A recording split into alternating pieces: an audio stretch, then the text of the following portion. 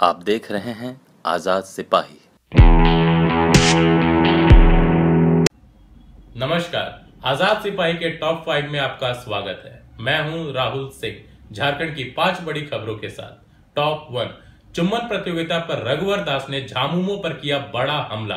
कहा, आदिवासी संस्कृति को नष्ट करने का प्रयास, जनता माफ़ नहीं करेगी। टॉप टू, रांची के कुख्यात अपराधी बबलू श्रीवास्तव की दुमका के सेंट्रल जेल में मौत। टॉप थ्री कुख्यात अपराधी गिरोह झारखंड क्रांतिकारी संगठन के सुप्रीमो जितेंद्र नायक ने किया सरेंडर।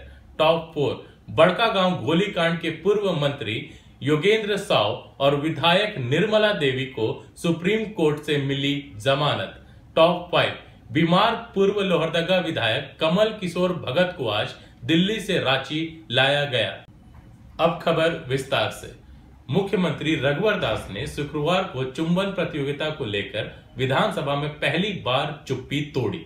झामुमो पर बड़ा हमला करते हुए कहा कि आदिवासी मूलवासी के नाम पर राजनीति करने वाले संस्कृति को नष्ट करने का प्रयास कर रहे हैं। झामुमो आदिवासी मूलवासी संस्कृति की बात करता है, लेकिन वहीं दूसरी तरफ़ चुंबन प्रतियोगिता का आयोजन कर आदिवासी और मूलवासियों की संस्कृति को खत्म करना चाहता है। रांची का कुख्यात अपराधी बबलू श्रीवास्तव की दुमका के सेंट्रल जेल में मौत हो गई। बबलू ने कुख्यात अपराधी अनिल शर्मा के साथ मिलकर रांची जेल के अंदर कुख्यात अपराधी भोमा सिंह की हत्या की थी। इसी मामले में उम्र कैद की सजा काट रहा था। बबलू ने हटिया क्षेत्र के अपराधी अशोक पांडे समेत कई अपराधियों को मौत के घाट उतारा था। उसके मुँह से झाग निकलता देखकर प्रशासन ने उसे जेल अस्पताल में भर्ती कराया। आपराधिक गिरोह, झारखंड क्रांतिकारी संगठन के सुप्रीमो जितेंद्र नायक ने आज रांची के एसएसपी कुलदीप द्विवेदी के सामने देसी राइफल और चार ज़िंदा गोलियों के साथ सरेंडर कर दिया। जितेंद्र नायक पहले पीएलएफआई का सक्रिय उग्रवादी था। 35 वर्ष का यह अपराधी रांची के लापुंग का रहने वाला है। इस पर रांची, गुमला और सिमडेगा तथा खूटी में कई हत्या, डकैती, लूट एवं रंगदारी के मामले दर्ज हैं।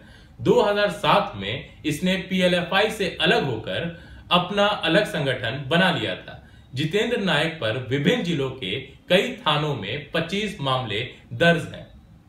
बड़का गाँव गोली कांड में पूर्व मंत्री योगेंद्र साव और विधायक निर्मला देवी को सुप्रीम कोर्ट ने जमानत दे दी है। दोनों को बड़का गाँव में 1 अक्टूबर 2016 को हुए गोली कांड में जमानत मिली है। इस घटना में पुलिस की गोली से चार ग्रामीण मारे गए थे। एसएसपी अभियान समेत कई पुलिस कर्मियों को चोटें आई थी। इस घटना को लेकर बड़का गाँव थाना में कांड संख्या 228 बटे 2016 दर्ज है। बीमार चल रहे पूर्व लोहरदगा विधायक कमल किशोर भगत को आज दिल्ली से रांची लाया गया। उन्हें इलाज के लिए एम्स में भर्ती कराया गया था।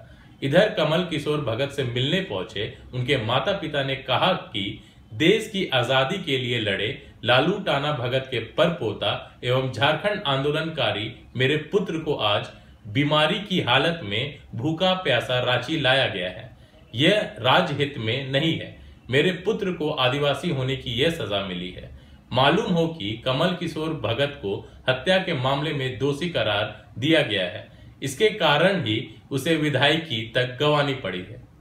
टॉप फाइव में इतना ही। आप इंतज़ार करिए आज़ाद सिपाही के खबर विशेष का राकेश सिंह के साथ। धन्यवाद।